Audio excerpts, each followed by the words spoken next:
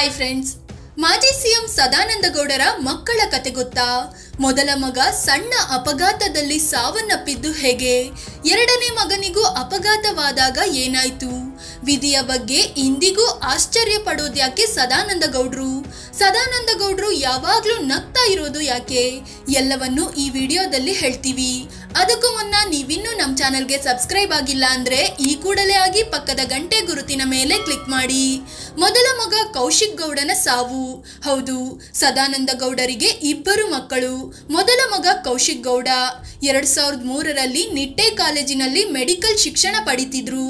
ಒಂದಿನ ಕೌಶಿಕ್ ಗೌಡ ಪುತ್ತೂರಿನಲ್ಲಿದ್ದ ಮನೆಗೆ ಬಂದಿದ್ರು.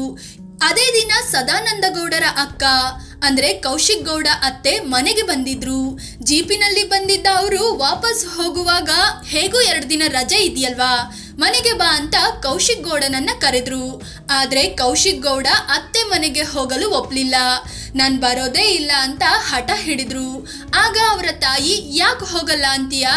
ಅತ್ತೆ ಕರೀತಿದ್ದಾರಲ್ವಾ? ಹೋಗಿ ಬಾ ಅಂತ ಹೇಳಿದ್ರು. ಕೊನೆಗೆ ಒತ್ತಾಯದ ಮೇರೆಗೆ ಕೌಶಿಕ್ ಗೌಡ ಅತ್ತೆ ಮನೆಗೆ ಹೊರಟ್ರು. ಸುಳ್ಯ ಹತ್ತಿರ ಬಂದಾಗ ಸಿಕ್ಕ ಮಾವನ ಮಗ.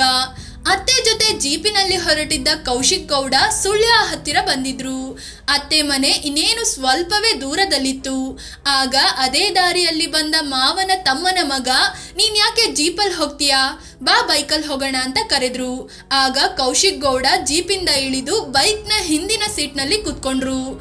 ಅವರಿಬ್ಬರು ಬೈಕಿನಲ್ಲಿ ಮೂರು ಕಿಲೋಮೀಟರ್ ವರೆಗೆ ಹೋಗಿದ್ರು ಅಷ್ಟೇ. ಆಗ ಬೈಕ್ ಸ್ಕಿಡ್ ಆಗಿ ಅಪಘಾತವಾಯಿತು. ಬೈಕ್ ಓಡಿಸುತ್ತಿದ್ದ ಮಾವನ ತಮ್ಮನ ಮಗನಿಗೆ ಏನೂ ಹಾನಿಯಾಗ್ಲಿಲ್ಲ. ಬೈಕಿಗೂ ಅಷ್ಟೇನು ಡ್ಯಾಮೇಜ್ ಆಗ್ಲಿಲ್ಲ. ಆದ್ರೆ ಕಲ್ಲಿನ ಮೇಲೆ ಬಿದ್ದಿದ್ದ Kaushik Gowda spinal cord damage ಆಗಿ ಸ್ಥಳದಲ್ಲೇ ಪ್ರಾಣ ಕಳ್ಕೊಂಡಿದ್ರು. ಆಗ ಸದಾನಂದ ಗೌಡರು ಪುತ್ತೂರು ಕ್ಷೇತ್ರದ ಶಾಸಕರಾಗಿದ್ರು. ಅಪಘಾತವಾದ ದಿನ ಒಂದು ಹಳ್ಳಿಗೆ ಭೇಟಿ ನೀಡಿದ್ರು. ಮಗನನ್ನು ಹೊತ್ತ ಆಂಬುಲೆನ್ಸ್ ಅವರ ಮುಂದೆಯೇ ಹಾದು ಹೋಗಿತ್ತು. ಎರಡನೇ ಮಗನಿಗೂ ಆಗಿತ್ತು ಅಪಘಾತ. ಅದು ಎರಡ್ ಸಾವಿರದ ಎಂಟು. ಮೊದಲ ಮಗ ಕೌಶಿಕ್ ಗೌಡ ವಿಧಿವಶರಾಗಿ ಐದು ವರ್ಷ ಕಳೆದಿತ್ತು. ಎರಡನೇ ಮಗ ಕಾರ್ತಿಕ್ ಗೌಡ. ಇವರು ಕೂಡ ನಿಟ್ಟೆಯಲ್ಲಿ ಓದ್ತಿದ್ರು. ಒಂದಿನ ಮಣಿಪಾಲ್ಗೆ ಹೋಗಿದ್ದ ಕಾರ್ತಿಕ್ ಮತ್ತು ಅವರ ಸ್ನೇಹಿತರು ವಾಪಸ್ ಬರ್ತಿದ್ರು. ಕಾರಿನ ಹಿಂದಿನ ಸೀಟಿನಲ್ಲಿ ಕಾರ್ತಿಕ್ ಕೂತಿದ್ರು. ರಾತ್ರಿ ಒಂಬತ್ತು ಗಂಟೆ ವೇಳೆಗೆ ಕಾರು ಅಪಘಾತವಾಯಿತು. ಸ್ಥಳದಲ್ಲೇ ಇಬ್ಬರು ಸಾವನ್ನಪ್ಪಿ ಕಾರ್ತಿಕ್ ಗೌಡಗೂ ಗಂಭೀರ ಗಾಯಗಳಾದ್ವು. ಗಾಯಗೊಂಡಿದ್ದ ಕಾರ್ತಿಕ್ರನ್ನು ದಾರಿಯಲ್ಲಿ ಹೋಗ್ತಿದ್ದ ವ್ಯಕ್ತಿಯೊಬ್ಬರು ಆಸ್ಪತ್ರೆಗೆ ದಾಖಲಿಸಿದ್ರು. ಆ ವ್ಯಕ್ತಿಯ ಹೆಸರು ಸುರೇಶ್ ಅನ್ನೋದನ್ನ ಇನ್ನೂ ಸದಾನಂದ ಗೌಡ್ರು ಮರ್ತಿಲ್ಲ. ಮಣಿಪಾಲ್ ಆಸ್ಪತ್ರೆಯ ರಾಜ ಅನ್ನೋ ಡಾಕ್ಟರ್ ಕಾರ್ತಿಕ್ಗೆ ಚಿಕಿತ್ಸೆ ನೀಡಿದ್ರು. ಬೆಳಗ್ಗೆವರೆಗೂ ಯಾರಿಗೂ ಮಾಹಿತಿಯೇ ಇರಲಿಲ್ಲ. ಆಗ ಸದಾನಂದ ಗೌಡ್ರು ರಾಜ್ಯ ಬಿಜೆಪಿ ಅಧ್ಯಕ್ಷರಾಗಿದ್ರು. ಅಪಘಾತದ ಮರುದಿನವೇ ರಾಷ್ಟ್ರೀಯ ಕಾರ್ಯಕಾರಿಣಿ ಬೆಂಗಳೂರಿನಲ್ಲಿ ನಡೆಯಲಿತ್ತು. ಕಾರ್ಯಕಾರಿಣಿಯ ದಿನವೇ ಬೆಳಗ್ಗೆ ಮಗನಿಗೆ ಅಪಘಾತವಾದ ವಿಚಾರ ಸದಾನಂದ ಗೌಡ್ರಿಗೆ ಗೊತ್ತಾಯಿತು. ಕೂಡಲೇ ಮಣಿಪಾಲ್ಗೆ ಹೋದ್ರು. ಸುಮಾರು ಹದಿನೈದು ದಿನ ಕಾರ್ತಿಕ್ ಗೌಡ ಪ್ರಜ್ಞಾಹೀನ ಸ್ಥಿತಿಯಲ್ಲಿ ಇದ್ರು. ತಲೆಯ ಮೆಮೊರಿ ಬಾಕ್ಸ್ ಜಾಗಕ್ಕೆ ಏಟು ತಗುಲಿತ್ತು. ಒಂದೂವರೆ ತಿಂಗಳು ಆಸ್ಪತ್ರೆಯಲ್ಲಿದ್ದ ಕಾರ್ತಿಕ್ ಗೌಡ ರಿಕವರಿಯಾದ್ರು. ಈಗ ಫುಲ್ ಹುಷಾರಾಗಿದ್ದು ಅವರು ಬಿಸ್ನೆಸ್ ಮಾಡ್ಕೊಂಡಿದ್ದಾರೆ. ಮದುವೆ ಕೂಡ ಆಗಿದೆ. ಸಿದ್ದು ಮಗನ ಸಾವಿಗೆ ಡಿವಿಎಸ್ ಹೇಳಿದ್ದೇನು? ಎರಡ್ ಸಾವಿರದ ಹದಿನಾರರಲ್ಲಿ ಸಿಎಂ ಸಿದ್ದರಾಮಯ್ಯ ಅವರ ಮಗ ರಾಕೇಶ್ ಬೆಲ್ಜಿಯಂನಲ್ಲಿ ಪ್ರಾಣ ಕಳ್ಕೊಂಡ್ರು. ಈ ವೇಳೆ ಅಂತಿಮ ದರ್ಶನಕ್ಕೆ ಬಂದಿದ್ದ ಸದಾನಂದ ಗೌಡ್ರು ಪಾರ್ಥಿವ ಶರೀರದ ಪಕ್ಕ ನಿಂತಿದ್ದ ಸಿದ್ದರಾಮಯ್ಯರನ್ನು ತಬ್ಬಿ ಬಿಕ್ಕಿ ಬಿಕ್ಕಿ ಹತ್ತಿದ್ರು.